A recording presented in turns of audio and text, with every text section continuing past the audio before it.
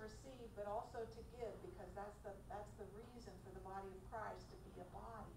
So that each person here has something to share, something on their heart, something that's stirring in you from the Holy Spirit, because that is our life. It's, we live in the Spirit, amen? Amen. Amen. So, does anybody have a testimony this week? Any answered prayer this week? Anybody, Tom? Anybody, Tom?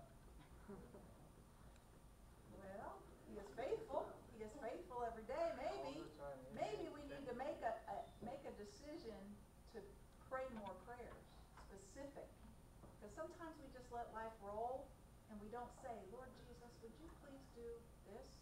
Oh, and I wanted to tell, uh, there was a, a letter that was very important that it was coming, uh, and I, and I had sent it back, or they took it back because it needed a signature, and then I tried to get them to deliver it, and it got, it got lost. I went to the post office, they couldn't find it. So we prayed and just agreed, and it came the next day. Thank you, Mhm. Jesus. So, you know, just things that mm-hmm. He wants us to pray and use that name, because it's a, our life is meant to be walked in the Spirit, not just in our own reasoning or understanding. Amen. Amen. All right, so Father, we thank you for this morning. We thank you for your presence in our lives. We thank you for Jesus Christ. We thank you that we are one with you through the blood of your Son. And Father, we thank you for the, the joy that you put in our hearts. Father, I pray that, that you would just anoint sound, anoint this music, that each person here just hears your chorus of angels and can just shout out and join in with worship and praise because you alone are worthy, Lord. And so, Father, as we begin to sing into praise, Lord, you are the one who uh, goes before us, uh, sets all of our enemies down, and gives our heart courage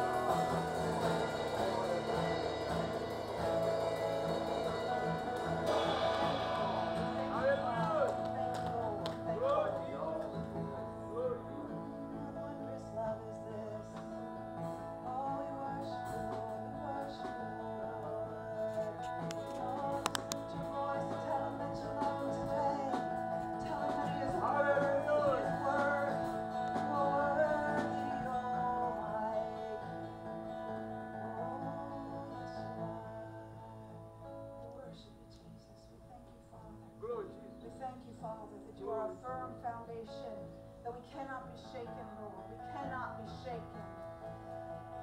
This life that we know here is just a vapor, but our life with you is eternal, Lord.